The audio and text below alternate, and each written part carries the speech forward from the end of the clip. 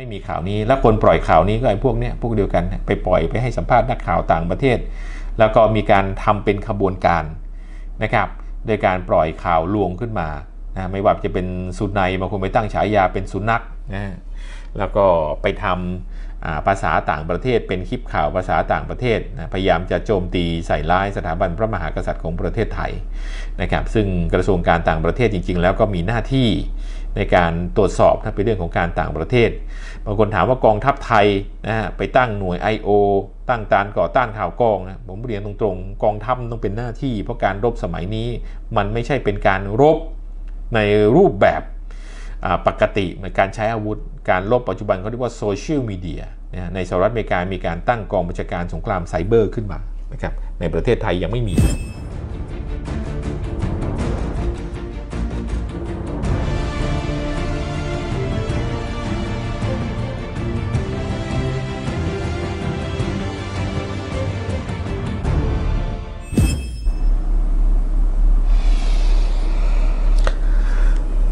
สวัสดีครับมาพบกับผมเทิดศักดิ์จิมกิจวัฒนาครับ วันนี้ก็สวัสดีหุ้นส่วนนะครับที่รับชมทั้งทาง Facebook รับชมทั้งทาง YouTube รับชมจากนอกในประเทศ วันนี้ก็มีประเด็นที่น่าสนใจครับ ประเด็นที่น่าสนใจ วันนี้ก็คงจะหนีไม่พ้นประเด็นทางการเมืองที่มีกลุ่มขบวนการที่เรียกว่ากลุ่มขบวนการล้มเจ้านะครับอย่างปวินนะครับแล้วก็ไปให้สัมภาษณ์กับสื่อต่างชาติ อย่างสมศักดิ์อย่างแอนดรูเนี่ย ไปให้สัมภาษณ์ไปพูดไปเขียนบนทวิตเตอร์สร้างความเกลียดชังอาฆาตมาดร้ายต่อสถาบันพระมหากษัตริย์คราวนี้ก็มีการปล่อยข่าวว่าจะมีการปลดราชินีนะครับออกไปแล้วก็จะมีการตั้งหม่อมก้อยขึ้นมาเป็นราชินีแทน ซึ่งการปล่อยข่าวนี้เขาอ้างว่าเป็นข่าวลับข่าวลวงข่าวพิเศษนะครับขึ้นมา ซึ่งสาวกของเขาทั้งหลายก็เชื่อนะครับว่าจะมีเหตุการณ์ลักษณะเช่นนี้ขึ้น นะครับเสียงนี้คือปรากฏการณ์นะครับในเชิงงานวิเคราะห์นะครับเขาเหล่านี้ทำแบบนี้มาโดยตลอดนะครับทำแบบนี้มาโดยตลอดปล่อยข่าวลวง ใช้คำพูดวาจาภาษาดูหมิ่นเหยียดยามอาฆาตมาดร้าย สถาบันพระมหากษัตริย์โจมตีนะครับอานนท์ก็เอาด้วยนะคราวนี้ก็มาอีกบอกว่า มีราชมีเจ้าคุณพระมีราชินีแล้วต้องใช้งบประมาณเท่าไหร่โน่นนี่นั่นก็พยายามจะ discredit หรือลดความน่าเชื่อถือของต่อสถาบันพระมหากษัตริย์ของประเทศไทย งานวิเคราะห์ต้องเรียนนะครับว่าสิ่งที่เขากำลังทำอยู่ในเชิงปรากฏการณ์นั้นนะครับคงเห็นเจตนาของเขาชัดเจนว่าเขามีเจตนาอะไร แต่ข้อมูลข่าวสารนั้นที่เขาพูดนั้นเป็นจริงไหมก็ไม่จริงนะครับไม่มีเหตุอะไร นะครับถ้าเราเห็นปรากฏการณ์แล้วก็คงเห็นว่า ราชวงศ์จักรีก็รักกันดีที่ผ่านมาก็มีการปล่อยข่าว เรื่องสมเด็จพระเทพเรื่องอพระเจ้าอยู่หัวนะในรัชกาลที่ 10 นั้นมีความขัดแย้งกัน ซึ่งความจริงก็ไม่ใช่นะอ้างว่ามีความแตกแยกกัน สุดท้ายในงานพระพิธีต่างๆ ท่านก็เคารพพี่พี่ก็เคารพน้องนะกอดกันรักกันตามปกติทำให้เหตุการณ์นั้นก็หายไป ในเชิงงานสังเคราะห์ลา เขาใช้หลักกลยุทธ์ทางการเมืองอะไร หลักกลยุทธ์ทางการเมืองนี้เรียกว่าการแบ่งแยกศัตรูนะครับ การสร้างข่าวลวงข่าวปลอมให้เกิดความหวาดระแวง เกิดความขัดแย้งกันเองนะฮะ เพราะการจะทำร้ายทำลายสถาบันพระมหากษัตริย์ต้องทำจากข้างในนะเขาใช้อะไร หลักนี้เขาเรียกการต่อต้านข่าวกรองนะครับ ใช้ข่าวกรองโจมตีนะครับ แล้วก็ใช้โซเชียลเซนชั่นหรือการต่อต้านทางสังคม นะครับให้เกิดการต่อต้านข่าวลือความบับระแวง ถามว่าใครปล่อยข่าวนี่คนชอบเอาข้อความมาให้ผมอ่านเนี่ยจริงหรือเปล่า ผมก็ถามคำเดียว จะเอามาให้ผมอ่านเนี่ยคุณดูหรือยังว่ามันมีแหล่งข่าวไหม ถ้ามันไม่มีแหล่งข่าว มันก็ไม่จริง 99.99%มันก็เป็นข่าวลือข่าวลวงใช้การต่อต้านข่าวกรอง บางทีตอนหลังๆเขาปรับด้วยการใส่ชื่อแหล่งข่าวเป็นแหล่งข่าวปลอม นะครับไปอ้างชื่อคนอื่นมาใส่อ้างมีที่มาที่ไปตอนหลังก็มีเรื่องคลิปเสียง มีคลิปภาพออกมา พอไปถามที่มาที่ไปนะครับก็ไม่รู้ไม่ทราบไม่สนนะครับพอไล่ไปไล่มาก็รู้ว่าเป็นการสร้างกระแสขึ้นมาตอนนั้น สมศักดิ์เจียมธีรสกุลนะครับเป็นผู้ต้องหาตามมาตรา1 2และก็พรบคอมพิวเตอร์นะครับปวิน แอนดรูก็ไม่ต่างกันนะครับเขาเหล่านี้เนี่ยอาฆาตมาดร้าย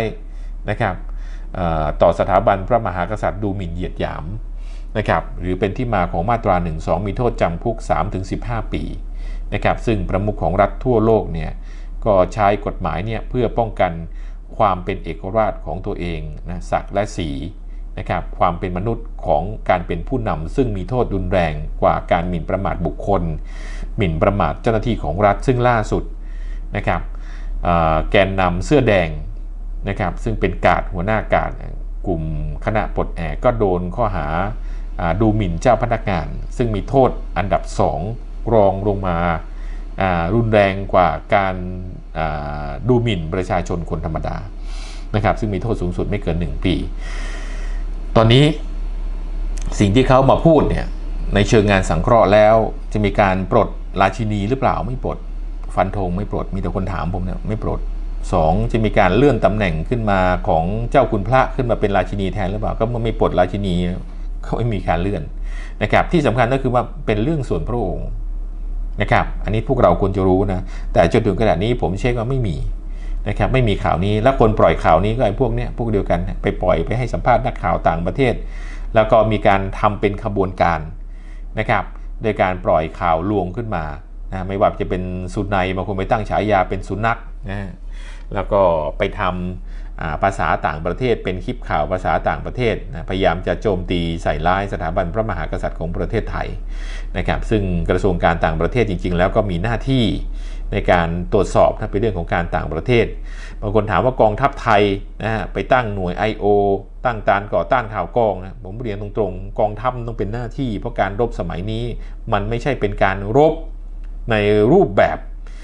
ปกติในการใช้อาวุธ การลบปัจจุบันเขาเรียกว่าโซเชียลมีเดียในสหรัฐอเมริกามีการตั้งกองบัญชาการสงครามไซเบอร์ขึ้นมานะครับในประเทศไทยยังไม่มีเลยนะครับตอนนี้กองทัพบบกก็กำลังไปจ้างเอกชนเข้ามาทำแล้วก็เริ่ม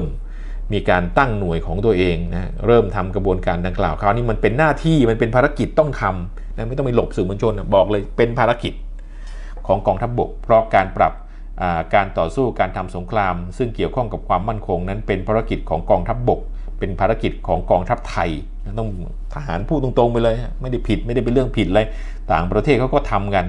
นะฮะเป็น I.O. หรือเปล่าเป็นหลักการต่อต้านข่าวกรองนะฮะเพื่อความมั่นคงของชาติพูดไปเลยนะฮะไม่ต้องไปกลัวผู้บัญชาการทหารบกซัดไปเลยนะเพราะเหล่านี้ทั่วทั่วโลกเขาทำกันอยู่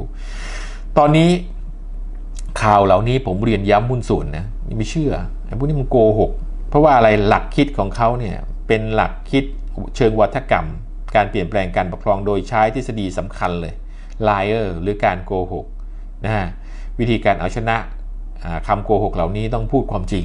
เอาความจริงเขาพูดไม่จริงนะพวกนี้มันโกหกที่ผ่านมาบอกว่าไงฮะเจ้าคุณพระเสียชีวิตไปแล้วก่อนหน้านี้บอกว่าเกิดความแตกแยกในราชวงศ์มันก็ไม่มี แล้วปล่อยข่าวลือมาสารพัดสารเพอ้างว่าเสด็จบินไปนั่นเป็นจะบินไปได้ไงนี่นั่นก็อยู่ในประเทศไทยไม่ได้ไปไหน อ้างว่ามีการทำฮาโลงฮาเลมพูดมั่วแล้วที่ไปหน้าสถานทูตเยอรมนีก็พูดขึ้นมา เป็นเรื่องเป็นราวบอกว่ามีข่าวเรือเป็นอย่างนั้นนี้ไอ้คนพูดอะสุดท้ายโดนมาตราหนึ่งสองเห็นไหมฮะสิ่งนี้ก็คงเป็นคำตอบนะว่าเขาใช้คำพูดคำโกหกมาหลอกเด็กไอ้พวกที่ไม่มีความรู้จริงสุดท้ายก็ตกเป็นผู้ต้องหา นะครับอย่างไรก็ตามนะเหตุการณ์ที่มันเกิดมาจนถึงขนาดนี้คงเป็นบทเรียนที่ดีนะผมเคยเรียนไว้ว่าโซเชียลจะเป็นเครื่องมือสำคัญในการเคลื่อนไหวของประชาชนนะครับออกมาชุมนุมประท้วง วันนี้คงเห็นชัดขึ้น วันนี้คงเห็นมากขึ้นนะครับแล้วก็เรื่องโซเชียลก็เป็นประเด็นทำให้ประเทศนี้เกิดความขัดแย้ง เกิดความแตกแยกนะครับวิธีการที่จะเอาชนะโซเชียลมันเป็นหลักก็เรียกว่าการเอาชนะตามหลักของพระสัมมาสัมพุทธเจ้า นะคือการเอาชนะด้วยการพูดความจริงก็เรียกว่าพึงเอาชนะคำมดเท็จด้วยการพูดความจริง ขอบคุณที่บอกต่อขอบคุณที่แชร์ต่อ ขอบคุณที่เล่าต่อ ขอบคุณที่ร่วมสนับสนุนสถานี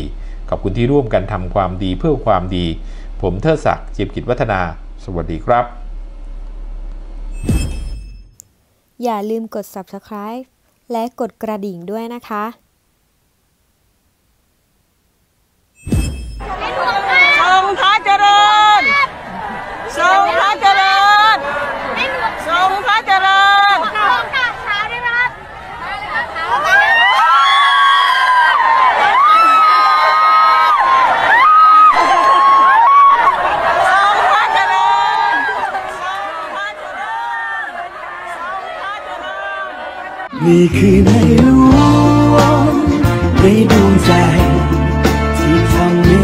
คนไทยยิ้มได้อย่างวันนี้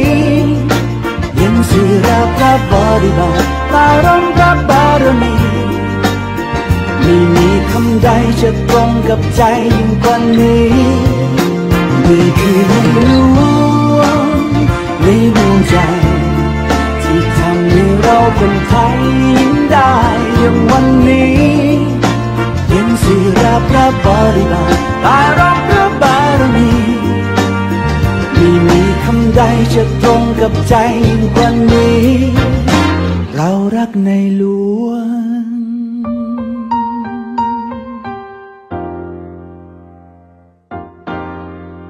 คนไทยรักในหลวง